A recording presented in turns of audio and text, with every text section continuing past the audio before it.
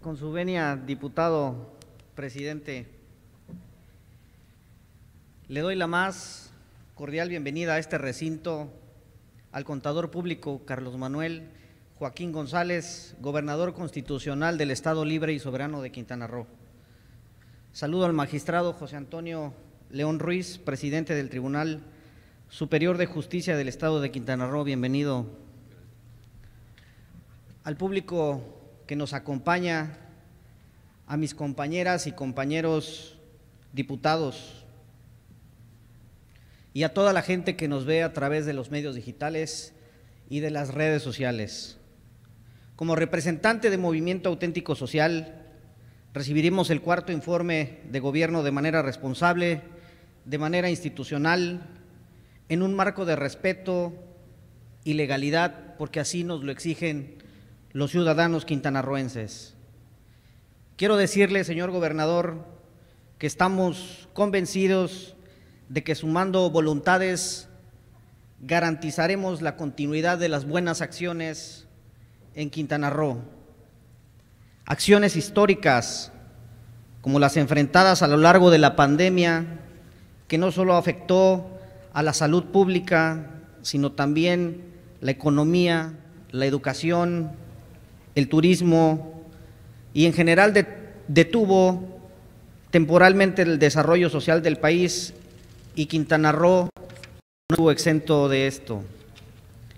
Sin embargo, las políticas públicas implementadas pudieron salvaguardar el patrimonio e integridad de las familias quintanarroenses y eso es de reconocerse en este día.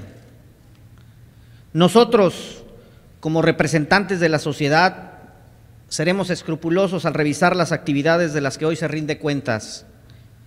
Vigilaremos las acciones que se informan en este ejercicio y en su caso haremos los pronunciamientos que se requieran para que la sociedad quintanarroense tenga claridad en la rendición de cuentas. Recordemos que la transformación del Estado no puede concluir en un sexenio y menos en las condiciones que usted recibió este gobierno. Por ello, es necesario que conjuntemos esfuerzos, que revisemos acciones y que asumamos responsabilidades, que apostemos por un trabajo conjunto para el desarrollo armonioso de las futuras generaciones en Quintana Roo. Está claro que su, que su administración retomó el orden, la transparencia, la legalidad y la austeridad que estaba oscureciendo la grandeza de nuestro Estado. Pero es nuestro deber vigilar que las nuevas prácticas gubernamentales se apliquen apegadas a derecho y eso lo cumpliremos con profesionalismo. En Movimiento Auténtico Social tenemos claro tres aspectos fundamentales. Primero, que lo urgente es recuperar el crecimiento económico del Estado y cada uno debemos asumir las acciones para lograrlo.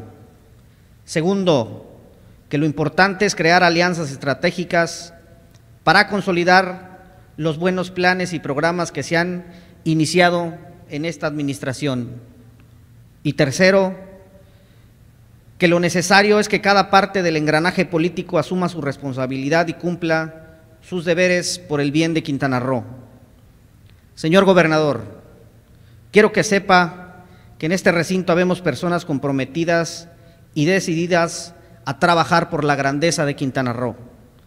Nosotros estamos haciendo nuestra parte, nosotros estamos cumpliendo, nosotros estamos poniendo el ejemplo. Nosotros estamos tejiendo acuerdos por el bien del Estado y quiero que sepa que nosotros vamos por más. Muchas gracias.